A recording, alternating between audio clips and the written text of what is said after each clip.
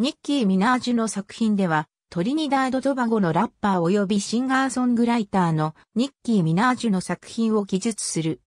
彼女はこれまでにスタジオアルバムを1枚、ミックステープを3枚、シングルを7枚、客演として12枚、プロモーションシングルを2枚発表し、自身と客演含めて20作以上のミュージックビデオに出演している。ミナージュはニューヨーク市にあるラガーディア高校を卒業後、ラッパーを始めた。リル・ウェインに見出されて2010年にユニバーサル・モータウンのヤングマネー・エンターテインメント、キャッシュマネー・レコードと契約した。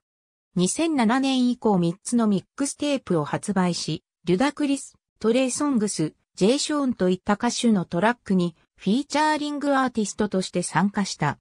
そして2010年には客演として参加した14作品がビルボードホット100に入った。彼女最初のリードシングル、マッシブアタックは、チャートでの成績が芳しくなかったので、デビューアルバムには収録されなかった。しかし、次のシングル、ユアラブは、ビルボードのホットラップソングズチャートで首位を獲得した。これによりミナージュは2002年以降、同チャートでソロで首位を獲得した初の女性歌手となった。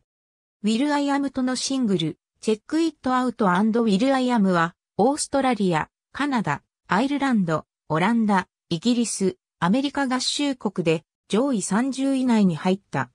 次のシングル、 Right Thru Me と、Moment 4 Life は、ビルボードのホット R&B、ヒップホップと Rap Songs チャートで、それぞれ最高5位を記録。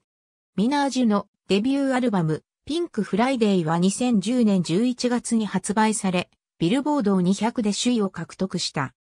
アルバムは、その後、アメリカレコード協会よりプラチナ認定を受けた。ありがとうございます。